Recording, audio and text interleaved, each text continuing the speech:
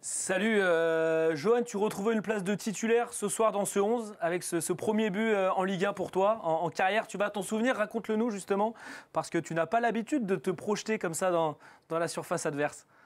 Non, comme j'ai dit, voilà, le coach, même le staff m'a dit de me projeter un peu plus et que j'allais recevoir des ballons pour, pour finir des occasions. ce soir, euh, ça c'est arrivé, donc je, suis content. C'est vrai que Bradley fait un bon centre et le ballon, il arrive, il arrive sûrement en retrait je m'applique au maximum parce que le terrain fait quelques rebonds sur certaines, sur certaines euh, phases du terrain. Donc, euh, non, je me suis appliqué pour, pour finir cette action et je suis content. Ça fera plaisir à Loris et à tous les supporters de l'OL. Le, ce, ce, but de votre part, c'est une moyenne d'âge entre Barcola, Cacré. C'est un but à, 20 ans de moyenne d'âge, si on fait la moyenne presque. Oui, euh, que des jeunes. non, c'était une belle action. Je pense que je crois qu'on est parti de. En plus, l'action, on part du, du bas du terrain la part de, de Anto, je crois. Je me rappelle pas, mais je crois. Donc euh, non, c'est une belle action construite et euh, on l'a fini bien. Donc euh, content pour l'équipe et content, content de l'équipe. Dernière question de Loris Martin, et puis après on vous laisse euh, retrouver à la fois et et l'avion. Oui, parce qu'il y a ce but, mais il y a aussi euh, ces récupérations, ton abattage défensif, et euh, surtout en fin de match. J'ai l'impression que plus le match avançait, plus tu étais dans ton match et tu avais envie de récupérer des ballons. 14 au final, je ne sais pas si tu le sais, mais c'est le record du match. Donc voilà, comment tu expliques que finalement tu étais plus en forme à, la fin du match qu'au début? À la fin, on ne voyait que toi pour gratter ces ballons. Non, c'est vrai qu'au début, comme je l'ai dit, je pense qu'on a été un peu surpris par leur pressing. Et puis même, on n'était pas, pas forcément dedans. Donc euh, au fur et à mesure du match, euh, moi personnellement, même l'équipe, on est, on est, rentré, on est rentré dans le match. Et non, c'est vrai que quand je me demande de récupérer pas mal de ballons, j'ai essayé de faire au maximum.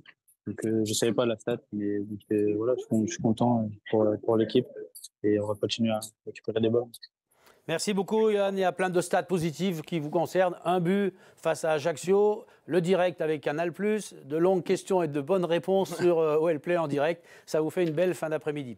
À très vite. Il faut préparer maintenant Brest, bien évidemment, et Troyes. Merci à Johan. On retournera peut-être avant la fin de ce débriefing de la victoire de l'OL à Ajaccio. La première question quels sont les sentiments qui traversent déjà votre analyse après cette euh, victoire? Dites-nous bah D'abord, euh, comme, on, comme, on gagne pas beaucoup de matchs, euh, savourer cette victoire.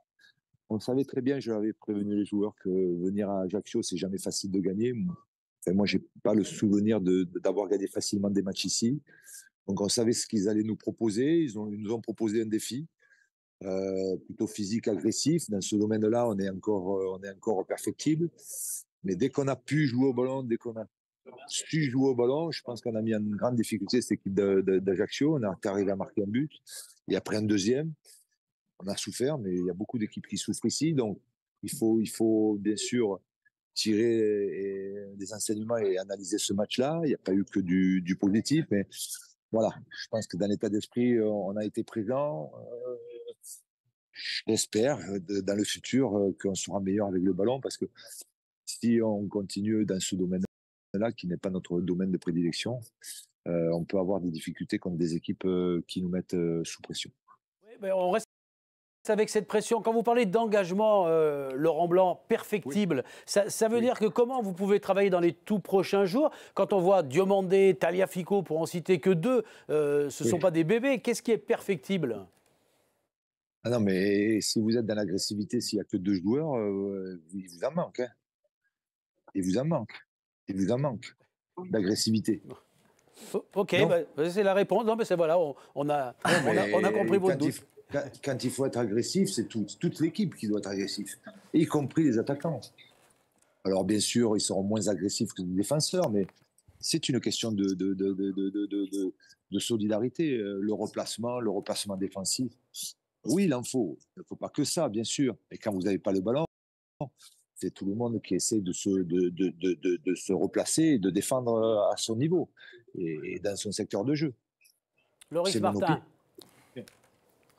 Bonsoir coach, euh, deux tirs cadrés ce soir, deux buts, euh, maximum d'efficacité. Et ça contraste finalement énormément avec le dernier match de Ligue 1 face à Strasbourg, 28 tirs face à Strasbourg mais il y a cette défaite. Comment vous, vous expliquez ce, ce contraste d'un match de Ligue 1 à l'autre? Ben écoutez, il n'y avait pas quand même, il y avait pas quand même la même équipe normalement, si je ne me trompe pas. comme vous savez, on a eu, on a eu beaucoup de, de, de, de départs dans ce domaine-là offensif. Donc il va falloir, il va falloir remplacer quand même les joueurs parce que dans le domaine offensif, même si les défenseurs ne sont pas, ne sont pas interdits de marquer, mais c'est quand même les attaquants ou les joueurs offensifs qui marquent le, plus. Donc dans ce domaine-là, on a eu quand même certains départs. Donc ça peut être une explication. Après, moi, l'explication que je vois, c'est que aujourd'hui, aujourd'hui, dès qu'on a été, bon dans la, sortie du ballon, dès qu'on a passé cette zone de pression qui nous mettait devant, et sur notre défense, donc, on, a mis en danger cette équipe d'Ajaccio. Donc, c'est là où il faut avoir la personnalité de dire bon, ben voilà, il faut prendre le ballon, il faut arriver à, à sortir, à extraire ce ballon-là de la pression de, de, de l'équipe adverse. Et après, derrière, il y aura il y aura de, il y aura de l'espace, il y aura des joueurs qui, qui, seront dans leur qualité et qui marqueront des buts. Donc ça a l'air simple comme ça, mais, mais, mais moi, c'est ce que je vois parce que si vous dégagez, si le gardien dégage, si les défenseurs dégagent, on va être sous pression euh, défensive.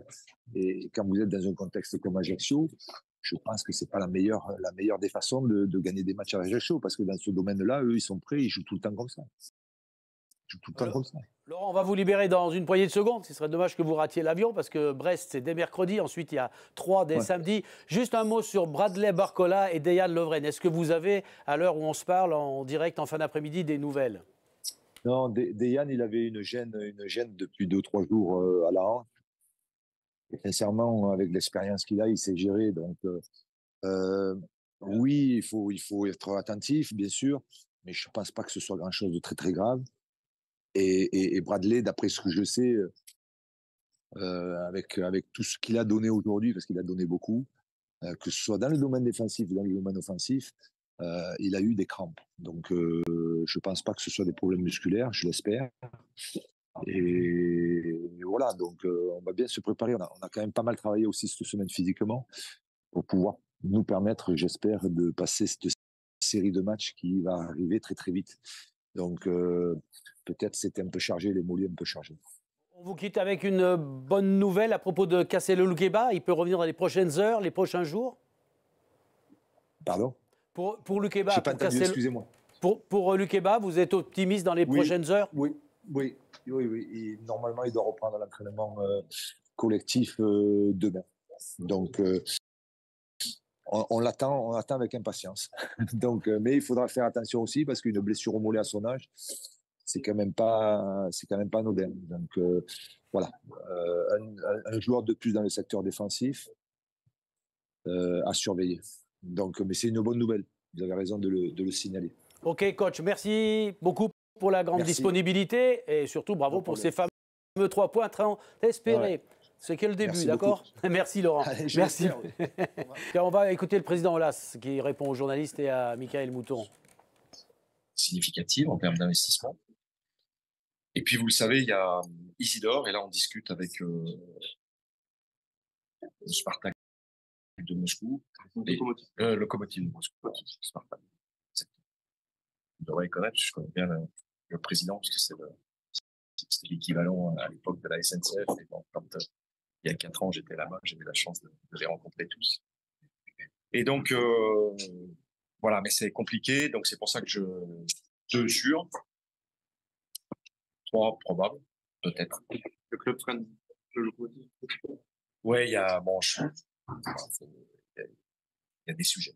Plus un milieu Plus un milieu défensif, donc qui était la première demande euh, avec Doyan de, de Laurent. Bon, et c'est compliqué parce que, comme on l'a dit, euh, on veut des joueurs supérieurs à ce qu'on a, donc euh, c'est pas si facile que ça, surtout dans les trois derniers jours. Mais on, voilà, bon, c'est partie de la tirelire pour euh, réussir le mercato parce qu'on a bien conscience, d'une part que on n'est pas de place. Donc là, je suis 100% d'accord avec euh, les supporters. Mais ceci étant, euh, il reste la moitié du championnat et avec l'aide de, John, mais surtout avec les moyens qu'on a réussi à créer euh, en développant des infrastructures, en développant un modèle qui est unique euh, en France, en tout cas, puisque globalement, avec un, des résultats qui nous permettent de financer des acquisitions. Donc, on va mettre va évidemment l'accent pour euh, réussir ce mercato et se, relancer.